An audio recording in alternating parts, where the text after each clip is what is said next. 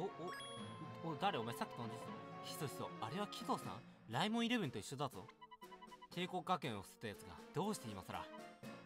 そんな言い方ないだろお前ら。だけ木戸さんお崎山久しぶりじゃねえか。電話あったよなそういえば崎山から。崎山それに天野に鳴神も。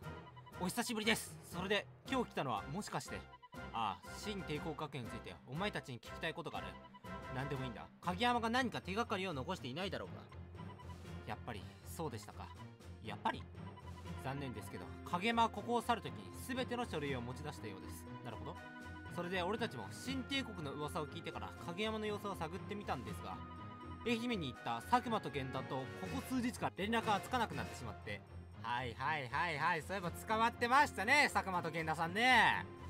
な、なんだと？どうしてすぐに連絡をくれなかったんだ？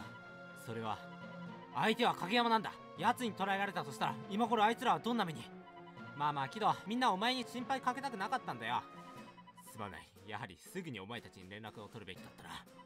いやこっちこそ感情的になって悪かった。い今さら何しに来たんですか？木戸さん。誰だお前？誰だお前？おおいお前よせって。僕はあなたに憧れて帝国学園に入りました。あなたの天才的なプレーは僕にとって理想だったんです。でもあなたが帝国を見捨て帝国は敗北しました。ライモンイレブンになって勝利をつかんだあなたに僕たちの気持ちがわかるんですか？おいやめろ。木戸さんはそんな人じゃない。先輩たちが良くても僕は許せません。そうそう許せないよな。来たね。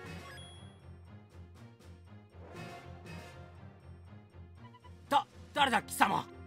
あ？口の利き方に気をつけろよ。貴様その制服まさか新帝国学園のものか。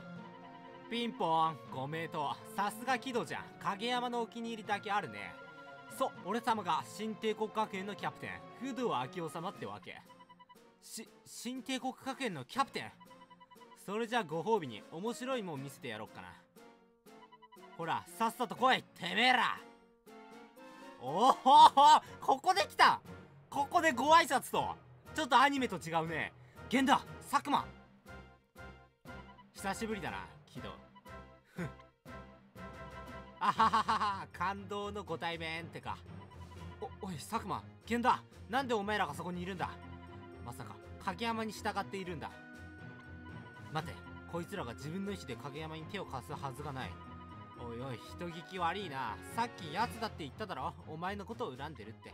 そりゃそうだよな。見捨てられたんだから。ああかわいそうかわいそう。違う。お前たちを見捨てたわけじゃない。そうだ。キドはそんなひどいことをするやつじゃない。それはお前たちが一番よく分かっているはずだろ。いいんだよとチームメイトを助けられなかったのは事実だ。俺のことを恨んでもいい。だが影山にだけは従うな。お前たちだって覚えているだろ。強さだけを求めた結果あの帝国の悲劇は起こったんだ。俺たちはそこから新たな一歩を踏み出したはずだ。またあれを繰り返したいのか？綺麗事を言うな。お前はあのゼウスに勝ちたかっただけだろ。ふん。そうだ。お前が欲しかったのも強さだ。ゼウスに負けた後俺たちが病院のベッドの上でどれほど悔しい思いをしたか。ラインもイレブンになって勝利をつかんだお前には絶対わからない。お前には勝利の喜びがあっただろうが俺たちには敗北の屈辱しかなかったんだよ。そんな言い方ないだろキドはお前たちのためにもゼウスを倒そうって。すまなかった。キド。ははははあの帝国のキドさんが人に頭を下げてるよ。でもこの不動マジでうざいな。